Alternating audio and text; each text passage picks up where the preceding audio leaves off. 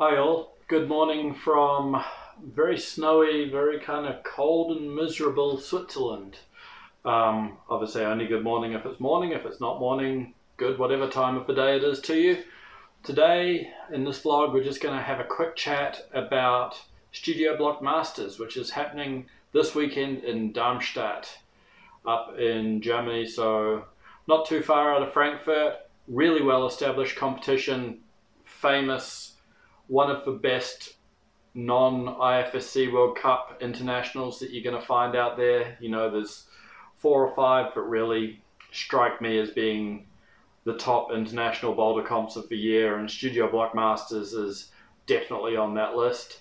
So, Studio Bloc's going to be a really interesting one because for some of the athletes, it's going to be their last competitive outing before the European Champs, which are being held in Moscow in a couple of weekends' time. For others, it might be their last outing before the World Cup season.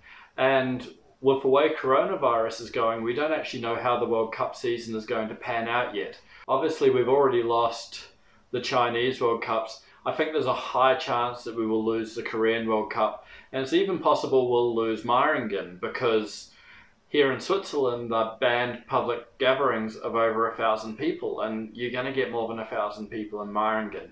Now, what I hope happens is that they go ahead with the competitions, but and this will sound harsh, but they just ban spectators. They just make it a closed competition, like they're doing with a bunch of other sports, and everyone can just watch the live stream. Really, it'll change up the atmosphere. It'll be a different vibe, but still be great to see everyone. Great to get the competitions happening, and at this time of coronavirus, you know, COVID nineteen, where everyone's locked down and in their houses and not doing as much I think having live stream sporting content and stuff like that to keep people psyched is probably a really good thing. But regardless of what's happening with the World Cup season, we have a big comp this weekend in Studio Bloc Masters and incredible field. Got a bunch of Olympic qualifiers will be there. From Slovenia, we have Janja Garnbret and Mia Krampl will be competing. Jesse Pilz will be competing from Austria, so that's three of the Olympic females in the field. In the men's, we have Alberto Ginés Lopez from Spain and Jakob Schubert from Austria will be competing. So you got five already qualified Olympians in the field. And then you have a bunch of people who will be going across to European champs in a couple of weeks and are still seeking entry into the Olympics. Um, so this one's going to be really important for the climbers to play out, to see how they feel, to see where they're at. Just basically a sanity check on their winter's training to make sure that everything's right. Obviously, now it can be a little bit too late to change anything if you're looking at European champs, but on the flip side, if you're looking at Olympics, it's a perfect time because you're still several months out and you can go, okay, wow, I I'm feeling a bit weak or wow, this isn't feeling good, etc., etc. Also, some really other strong standouts in the field. Oriane Bertone from France, incredibly talented youth B climber, will be there. So excited. She's just been a phenomenon in the European Youth Cups and at Youth World Champs. Really excited to see what she can do in one of her first adult comps. She's done a couple, but this is you know, definitely one of the first. You've also got Flavy is here from um, France, Flavy Cohaut, who is World Cup climber as well. Jernej Kruder from Slovenia.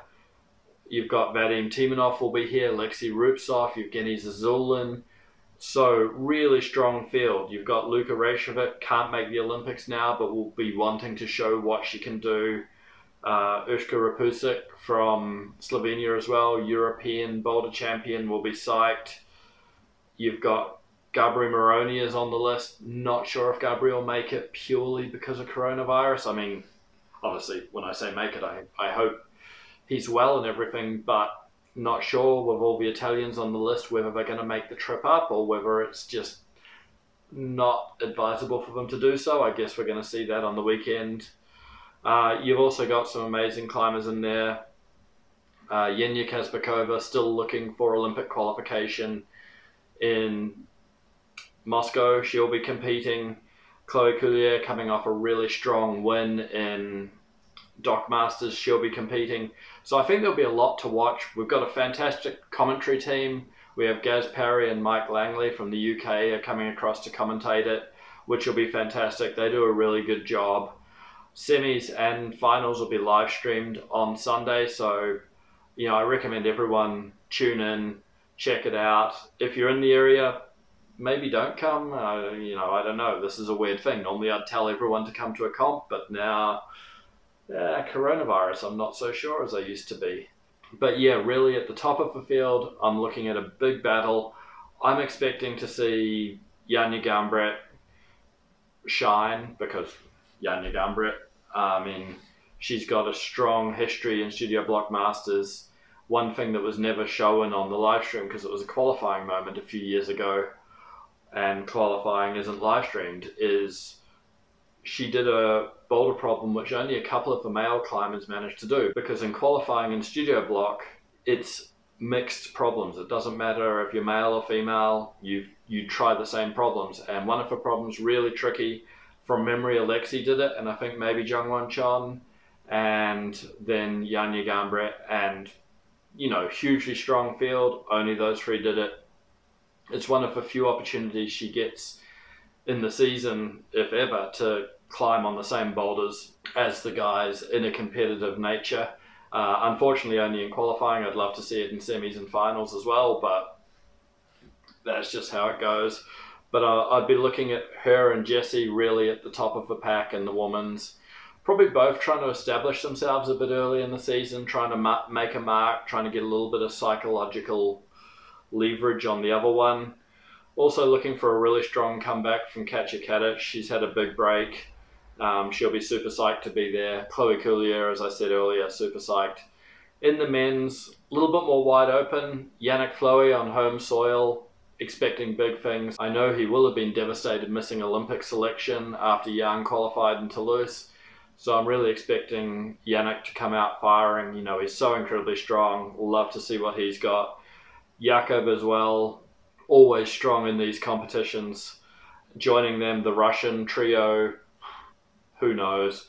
Uh, Gregor Vezonik, another one. It's going to be deep. I think semi-finals is going to be pretty much World Cup standard, obviously minus the Japanese and Jongwon Chon and a couple of Americans, but yeah, pretty much World Cup standard. And then I think finals will be pretty much a lineup you could see in a World Cup anywhere. So, yeah, definitely tune in, psyched for it. I will do a rundown after the event. This was just a quick pre event rundown. Cool. Hope you guys enjoy. Uh, as always, please like, share, subscribe. Put your thoughts and comments who you think will do well, what you want to see in the comp. Are you excited about anything in particular? And yeah, I will talk to you next either during the comp or after the comp. Thanks very much.